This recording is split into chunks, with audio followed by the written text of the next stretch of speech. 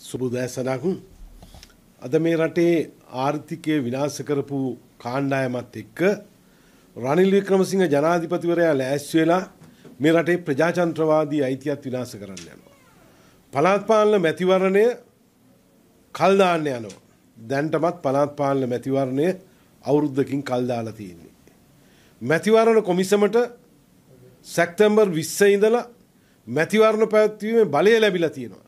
එසේ තිබියදී ජනාධිපතිවරයා ප්‍රකාශ කරනවා මන්ත්‍රීවරු 8400 දක්වා අපි අඩු කරලා මැතිවරණය පවත්වනවා කියලා. ඒ කියන්නේ මැතිවරණය කල් දැමීමේ තිත්ත බෙහෙත් ගුලිය මන්ත්‍රීවරු අඩු කරනවා කියලා පැන් රස තවරලා මේක විකුණන්න යනවා. මානව මේ ප්‍රජාතන්ත්‍රවාදය විනාශ කරන්න යන්නේ. ජනාධිපතිවරයා මේ 8400 කරනවා කියලා ජනතාවගේ ප්‍රජාතන්ත්‍රවාදී අයිතිය ඡන්දදීමේ අයිතිය විනාශ කරන්න හදන්නේ. අපි දන්නවා එතුමා ජනාධිපති පදවිය බාර ගන්න ඡන්ද 134ක් ගන්නකොට පොදු ජන පෙරමුණට දුන්න ඒ മന്ത്രിවරුන්ට දුන්න පොරොන්දුව තමයි මැතිවරණ පවත්වන්නේ නැහැ කියලා. අපි දන්නවාද රටේ ජනතාව මේ තියෙන ආණ්ඩුව තියෙන മന്ത്രിවරු ප්‍රතික්ෂේප කරලා තියෙන්නේ. දෙදස් දහනමය තිබ්බ දෙදස් විශ්ස තිබ්බ ජනමතය ආණ්ඩුවට නෑ. එන රටේ ජනතාවගේ මතය ජනතාවගේ ප්‍රජාචන්ත්‍රවාදී අයිතිය නැවත විමසා බල යුතුයි. ඒකයි කල්දාන්න යන්නේ. අපි දන්නවා මේ රටේ ඉතිහාසේ මෙට ඉස්සල මැතිවරණ කල්දාලා ජනතාව එකට පාඩම් ගන්න තියෙනවා. දෙදස් එක්දස් නමසය හැත්ත පහේ සිරිමාව බණ්ඩාරනායක මැතිනිය අවුරුදු දෙක්කින් මැතිවරණවත්තා කාලේ දික් කරගත්තා. අපිත් එදා දිනන්න තිබ මැතිවරණයක් එක්දා සමසය අසූ දෙකේ ජනමත විචාරණයක් පැවැත්තුවා. අපි හිතන්නේ මේවා ප්‍රජාචන්ත්‍රවාදී ක්‍රියාවන් වලට විරුද්ධයි. අපි හෙමනම් මේ අතීතයේ තේරුම් ඇර මේ මැතිවරණය පවත්වන්න අපි කටයුතු කරන්න කියලා ආණ්ඩුවට බල කරනවා. ඊය විරුද්ධ පක්ෂයේ සියලුම පක්ෂෙක් අහුවෙලා. අපි තීරණයක් ගත්තා නියමිත දිනට මැතිවරණ පවත්වන්න අපිට පුළුවන් හැම ක්‍රියාමාර්ගයක් ගන්නවා. හැම ක්‍රියාමාර්ගයක්ම ගන්නවා. පාර්ලිමේන්තුව ඇතුළෙත් පාර්ලිමේන්තුව පිටතත් අධිකරණයේත් ජාත්‍යන්තරට ගිහිල්ලත් මැතිවරණ අයිති ආරක්ෂා කරගන්න අපිට අවශ්‍ය පියවර ගන්න අපි තීරණය කළ තියෙනවා. ඒ සඳහා සමගි ජන බලවේගය විපක්ෂයේ ප්‍රධාන දේශපාලන ප්‍රවාහය විදියට එක නායකත්වය දෙන්න එක මෙහෙවන්න සියලු දෙන එක්කහු කරගෙන මේ කටයුත්ත කරන්න සියලු දෙනාම පොදු වේදිකාවකට ගේන්න දැන්ට තීරණය කළ හමාරයි.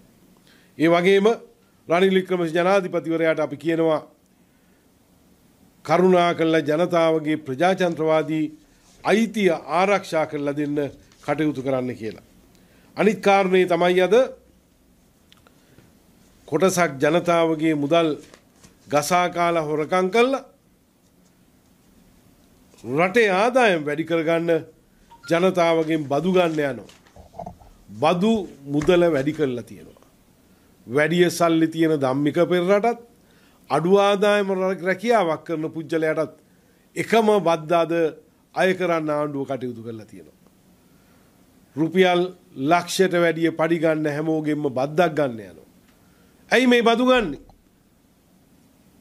ආණ්ඩුවේ පිරිස වත්මන් පාලනය දූෂණයේ අන්තයටම ගිහිල්ලා ජනතාවගේ මුදල් හොරකම් කළා රට බංකොලොත් වෙනකොට රට කඩා වැටෙනකොට ඒ අය මොනා තීරණය කරලා තියෙන්නේ?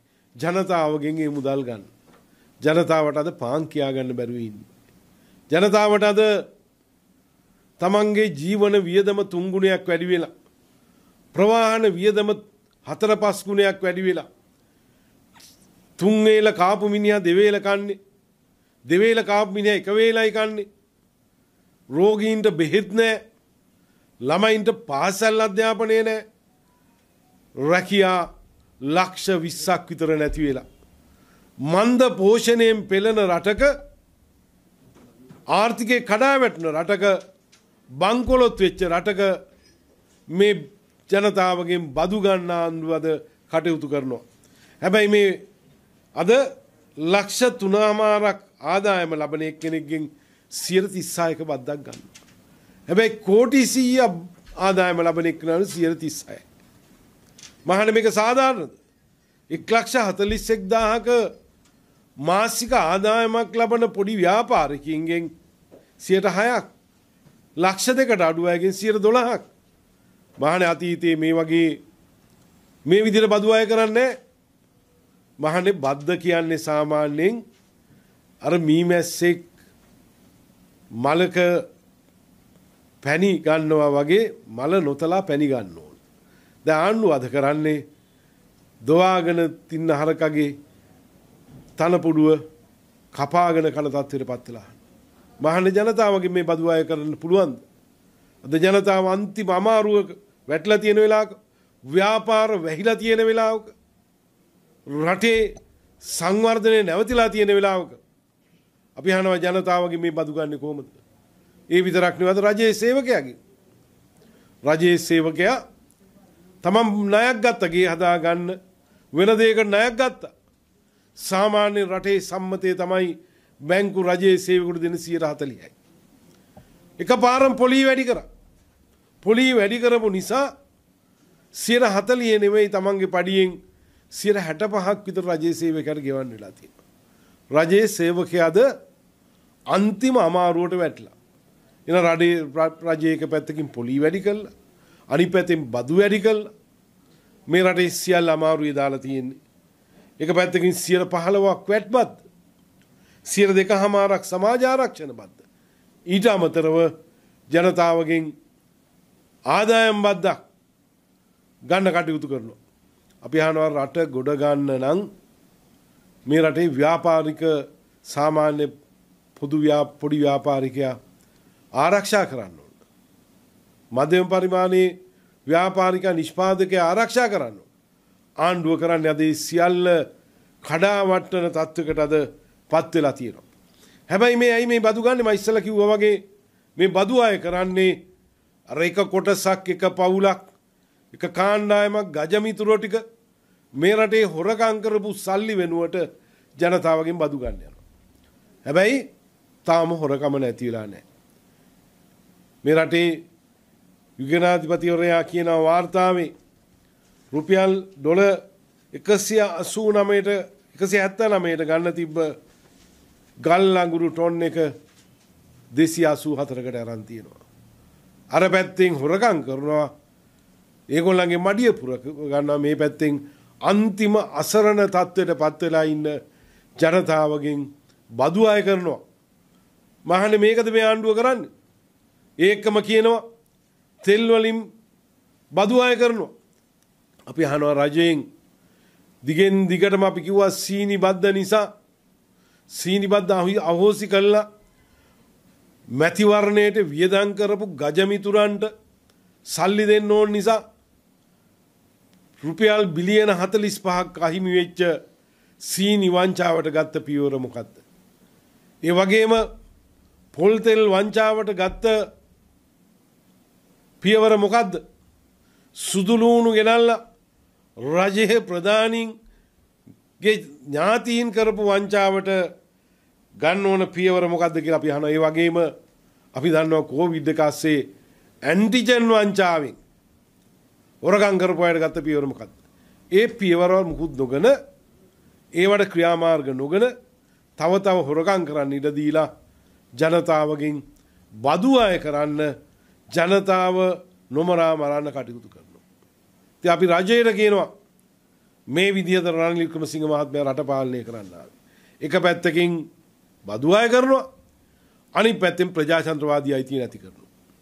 ඊ අපි දැක්කා මම ඉස්සෙල්ලා කිව්වා වගේ පළාත් පාලන මැතිවරණේ කල් දාන්න දැන් පිඹුරුපත් සකස් කරනවා.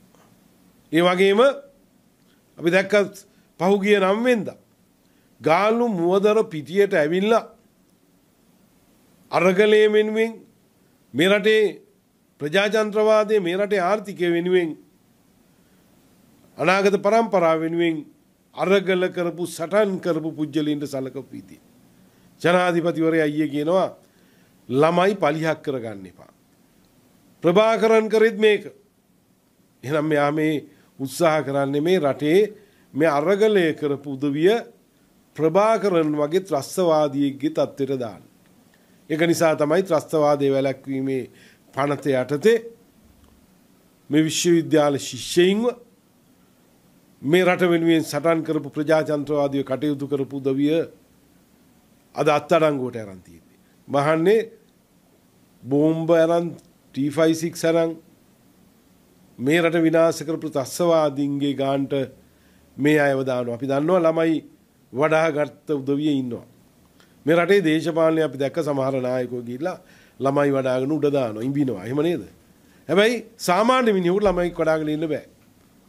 අපි කියනවා ඒ අරගල භූමියට ඒ ගාලු මුවදර පිටියට ඒ පියා ආවේ දරුවා ගෙදර තියලා ඉන්න බැරි නිසා.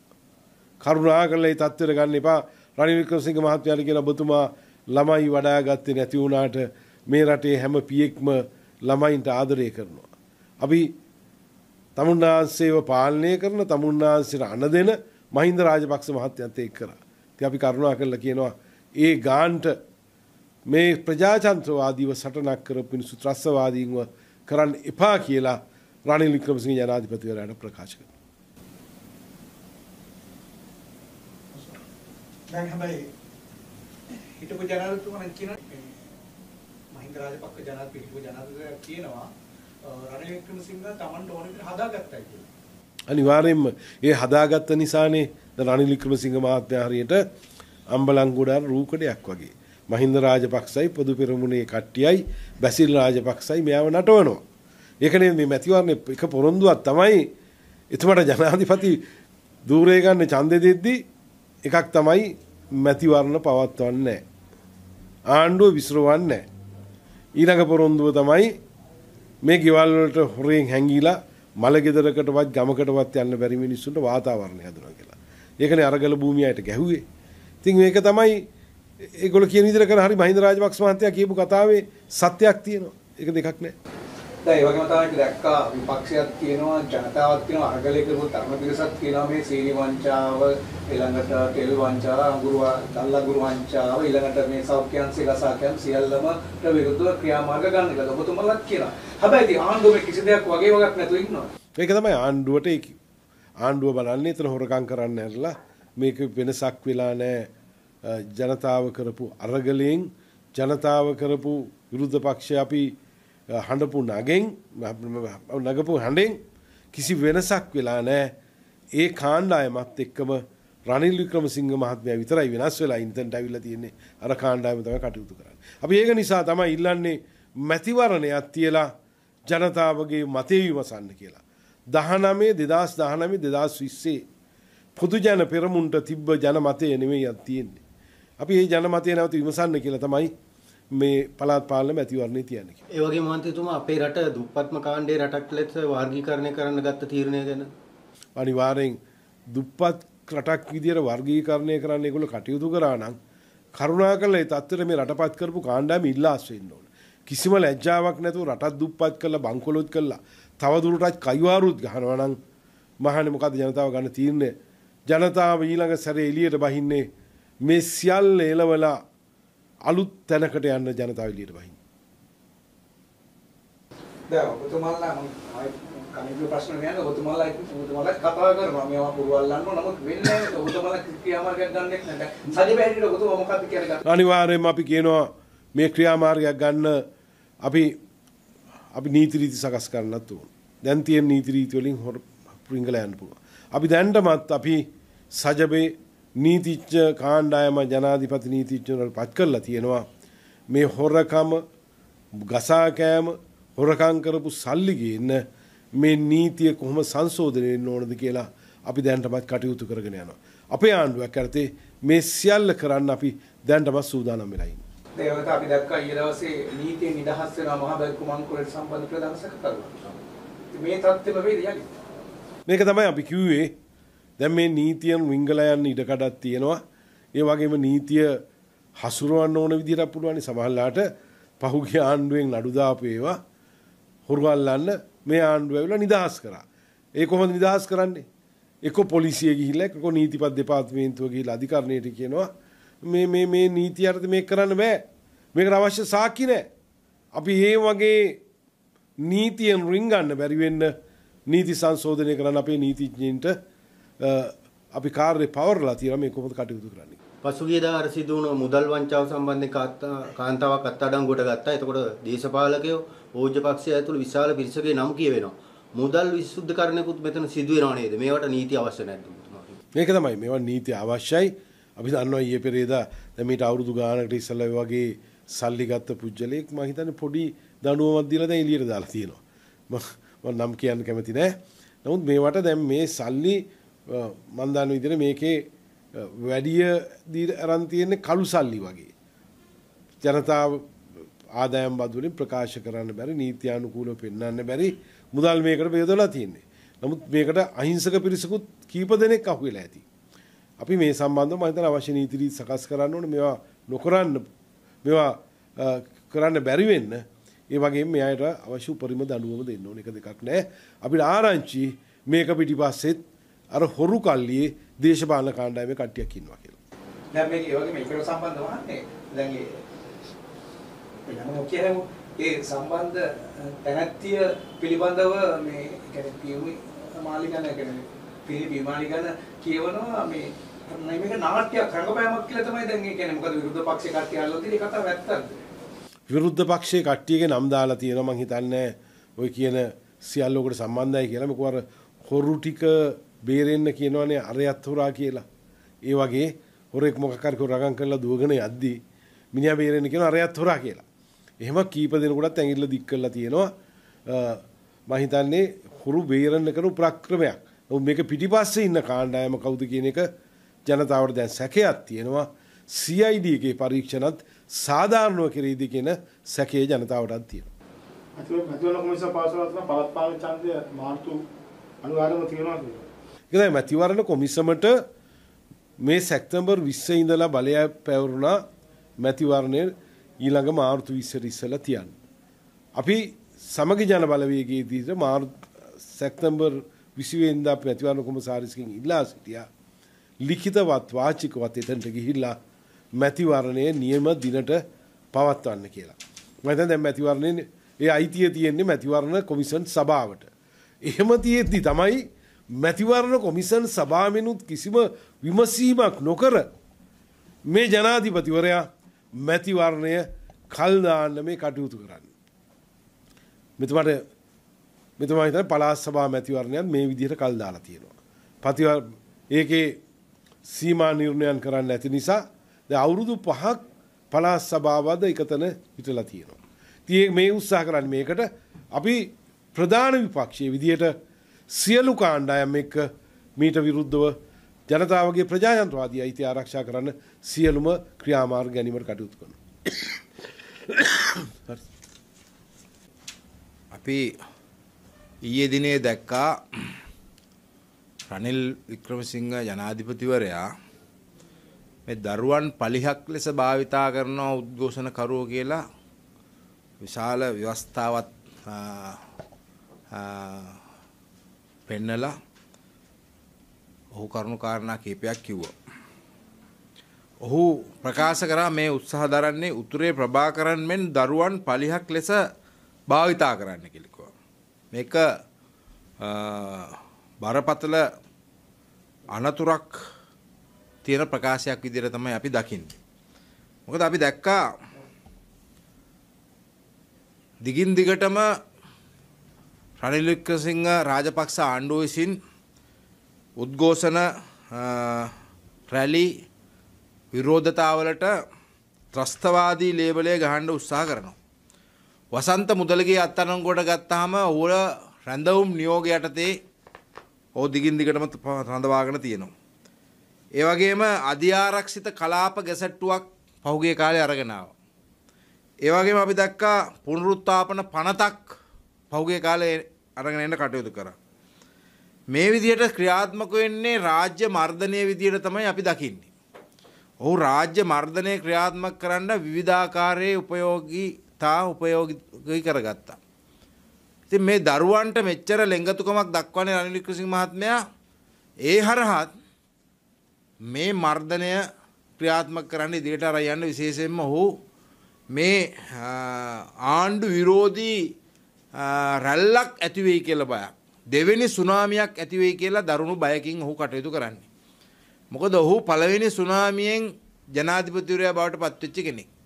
දැන් ඔහු උත්සාහ කරනවා නම් මේ ත්‍රස්තවාදී ක්‍රියාව විදිහට මේක එහෙනම් පළවෙනි සුනාමිය පළවෙනි මේ ගෝඨාභය ගෙදර යවන දැවන්ත අරගලය ඒකත් ත්‍රස්තවාදයක් විදිහට දකින්න ඕනේ නම්. එහෙනම් ඒ ත්‍රස්තවාදයේ පිහිටන් බලයට පත් වුණු කෙනෙක් තමයි රනිල් වික්‍රමසිංහ මහත්මයා. අපිට මතකයි ඒ අරගලයේදී පවුල් පිටින් ඇවිල්ලා ගෝල් ෆේස් පිටියේ කඳුරු බැඳගෙන හිටියා. දරුවෝ හිටියා. ළමයි හිටියා. ළමයි තමන්ගේ දරුවෝ පිළිබඳව තීන්දුව తీරන ගන්නවා රජයටත් කලින් තමන්ගේ දෙමව්පියෝ.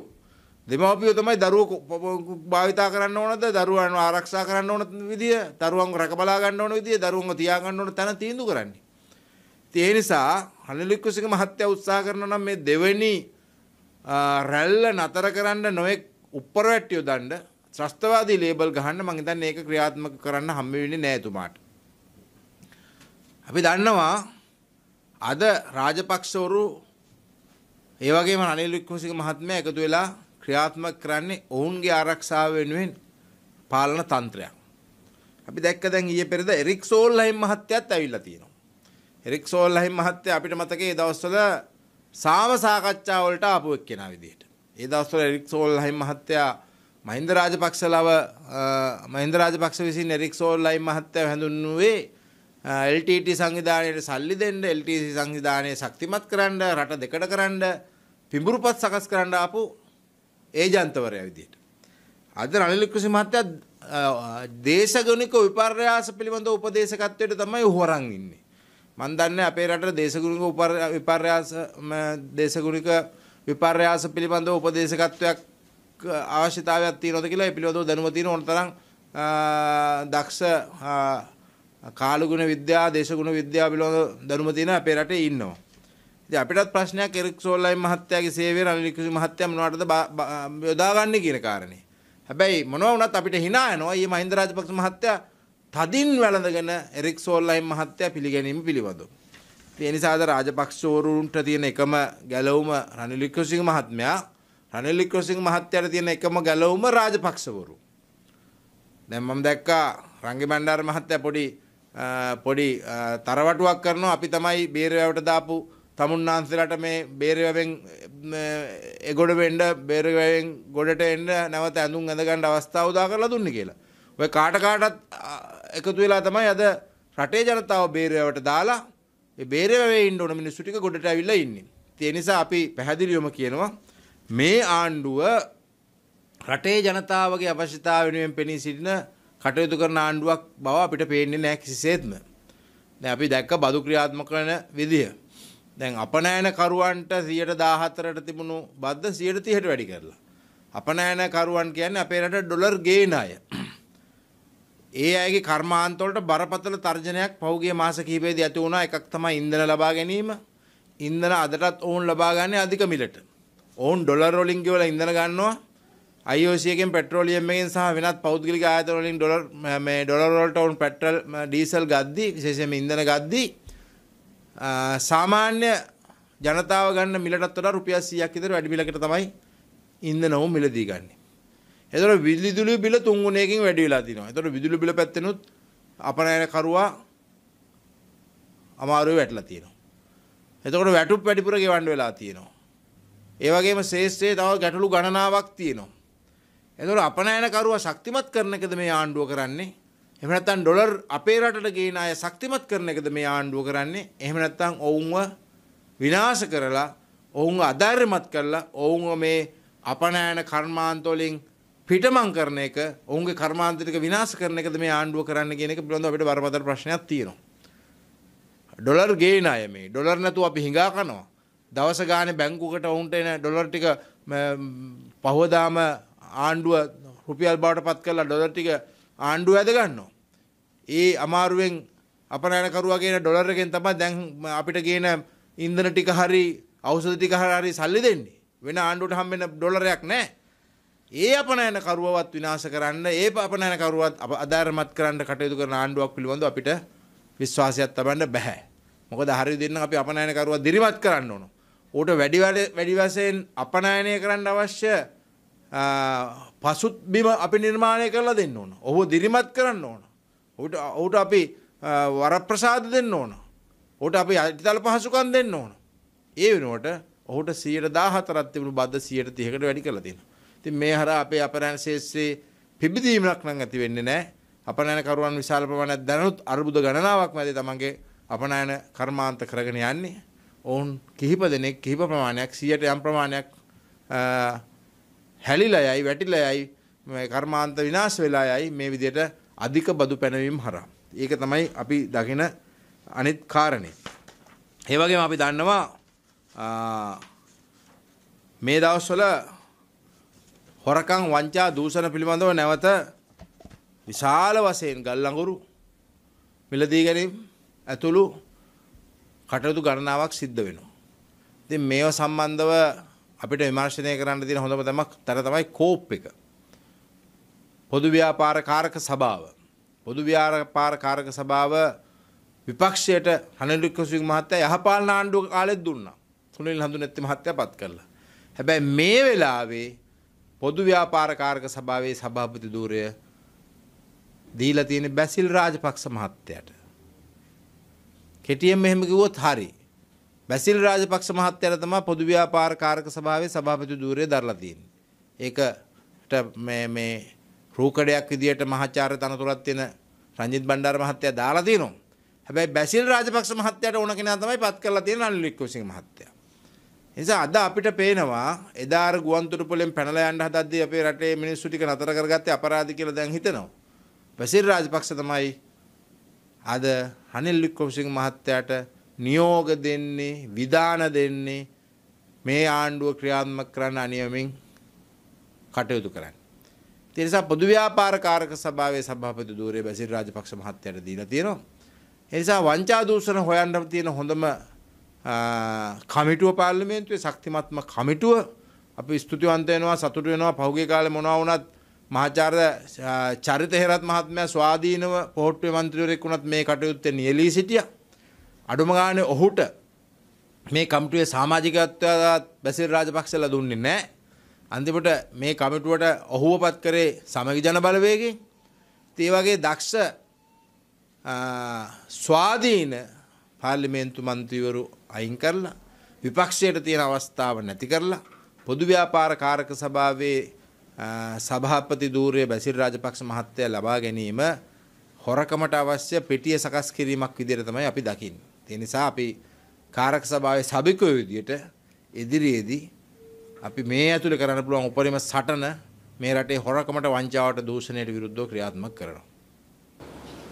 දැන් පොදු ව්‍යාපාර කාර්ය සභාවේ සභාපතිවරයා පවසනවා මේ මාධ්‍යම මුක්තිදී ජනතාව සූදානම් වෙන්න ඕනේ බදු ගෙවන්න ඕනේ ඊළඟට ගොඩනගන්න ඕනේ මේක සාධාරණද බදු කියන්න ඕන තමයි ජනතාව. අපි දන්නවා. අපි දන්නවා ජනතාව බදු කියන්න ඕන. හැබැයි ඒක සාධාරණ බද්දක් වෙන්න ඕන. සාධාරණ බද්දක් වෙන්න ඕන. මේගොල්ලෝ ආණ්ඩුව බලයට පත් කරපු ගමන් මේ රටේ ඉන්න අ, ධන කුවේරයන්ගේ බද්ද නැති කරලා දැම්ම. අද ඍජු බදු වලින් අපේ අහිංසක මිනිස්සුන්ගෙන් බදු අරන් තමයි මේ ආණ්ඩුව දුවන්නේ. සාධාරණ බද්දක් වෙනුවෙන් ජනතාව මේ මැසිවිලි නගන්නේ නැහැ. අද අසාධාරණ අධික ජනතාවට අ, ඔරොත්තු නොදෙන බදු ප්‍රමාණයක් ගහලා තියෙනවා. ව්‍යවසායකයෝ මත විතරක් නෙමෙයි ලක්ෂ දෙකක් දෙක හමාරක්ට වැටුපක් ලබන මධ්‍යම පාන්තිකයෝ.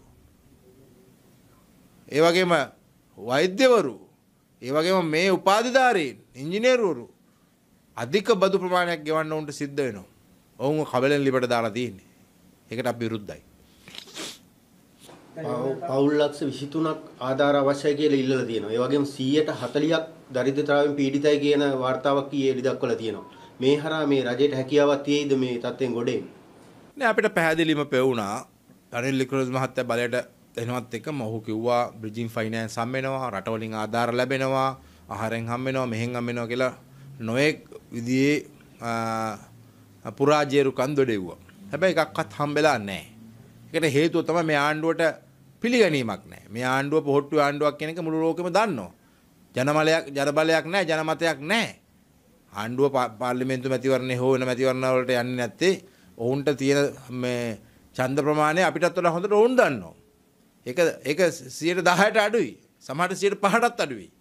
ඒ නිසා ඒක දන්නවා මේ රටේ ඉන්න මිනිස්සුත් දන්නවා විදේශික විදේශ රටවල ඉන්න මිනිස්සුත් දන්නවා විදේශික රාජ්‍ය තාන්ත්‍රික සියලුම දෙනා දන්නවා. ඒ නිසා තමයි මේ රටට පිළිගැනීමක් නැත්තේ මේ රට පිළිබඳ විශ්වාසයක් නැත්තේ. ඒ නිසා මහජනයා විසින් අලුතෙන් ආණ්ඩුවක් පිහිටවනකම් මම හිතන්නේ අපේ රටට පිළිබඳව ඒ විශ්වාසය තහවුරු කරගන්න බෑ. ඒකයි ඇත්ත තත්ත්වය. ඒ වගේම තමයි අපි දැක්කා තුමා සඳහන් කරා වගේ මේ සුළු හා මධ්‍යම ව්‍යාපාරිකයන් කියන්නේ බදු ගැහිල්ල විද්‍යුසිට සිටත දක්වා වැඩි කරලා තියෙනවා.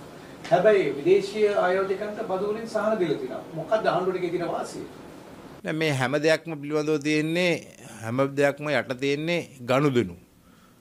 තමන්ගේ හිතවතුන්ට එහෙම නැත්නම් තමන්ට ඩොලර් වලින් හෝ රුපියල් වලින් කුට්ටි ගෙවන යටිමඩි ගහගන්න පුළුවන් අයට ගනුදෙනුවක් ඩීල් එකක් දාන්න පුළුවන් අයට ඒ බදු සහනය දෙන්න ඒගොල්ලෝ පැකිලෙන්නේ නැහැ. මොකද තමන්ට වාසිය වෙලා තියෙනවනේ. තමන්ට වාසියක් වෙනවා නම් රටේ වාසිය රටේ ජනතාව ගැන නෙමෙයි බලන්නේ තමන්ගේ වාසිය වෙනුවෙන් ඔවුන්ට දීර්ඝ කාලීන බදු සහන ලබා දීමට මේ ආණ්ඩුව කටයුතු කරා කියන එක අපි දැක්කා. හැබැයි රටේ ජනතාවගෙන් සූරලා මිරිකලා අමරලා අන්තිම දිය බිඳුවත් ගන්න තමයි ආණ්ඩුව කටයුතු කරන්නේ. ඒ නිසා මේක මේ අලිබබා හොරු 40ගේ ආණ්ඩුවක්. මේ ආණ්ඩුවෙන් රටේ ජනතාවට සහනයක් ලැබේ කියලා බලාපොරොත්තු වෙන්න බෑ.